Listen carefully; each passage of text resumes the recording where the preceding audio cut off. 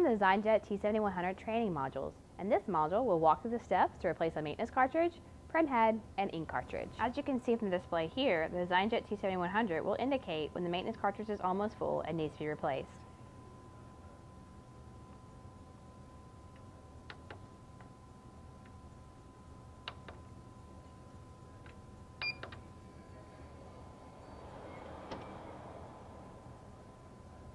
As the front panel indicates, you open the right front door to replace the maintenance cartridge.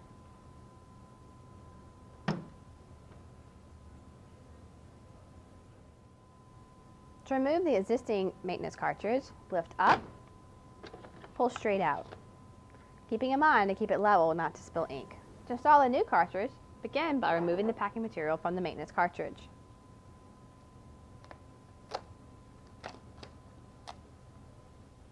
Insert the new cartridge level into the bay, ensuring to push down to lock into place. Once this step is complete, you can close the front panel door. Once the front panel is closed, the DesignJet T7100 will go through a process to check the maintenance cartridge. When everything's ready, the front panel will display ready. Now we'll go through the steps for replacing ink cartridges. Please keep in mind ink cartridges require no maintenance or cleaning. When each cartridge is shaken vigorously before installation and inserted correctly into its slot, the ink will automatically flow into the printhead. From the main menu, select the Ink submenu, scroll to Replace Ink Cartridges, select OK, and begin the ink replacement process. To begin the process to change the ink cartridge, select the tab from the ink cartridge you'd like to change, pull it down and towards you to bring the cartridge forward to you on its drawer.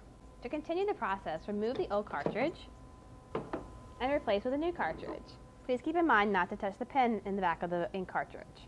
Also, please shake the cartridge vigorously for 15 seconds before installing. Once those steps are complete, insert back into the drawer, slide in until you hear a beep and a lock. Once the process is complete, select OK to continue. Now I'll walk through the steps of how to replace a print head.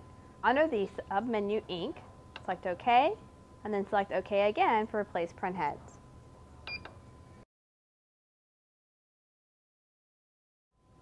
First step is to open the printer window. The printhead carriage is now located on the right side of the printer. Pull up and release the latch on top of the carriage to gain access to the printheads. To remove the printhead, lift up the blue handle and pull up straight firmly.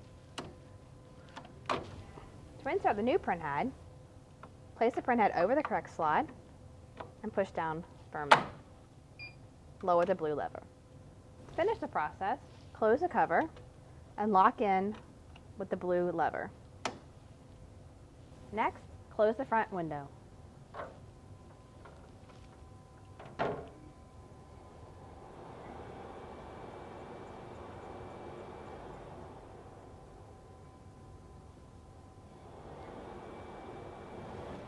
The DesignJet T7100 begin the process of checking the print head and getting the system ready.